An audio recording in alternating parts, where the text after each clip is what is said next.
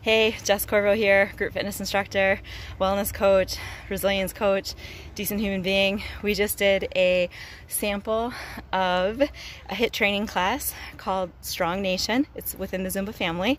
And one of my friends from high school, he is a hockey player. He is part of the Fit Fam. He is active with his profession all the time, and he's been uh, working on his cardio. So he's been running a mile to a mile and a half uh, a couple times a week. And we just did half of the Strong 30, and here's what he has to say about it. I'm gonna die.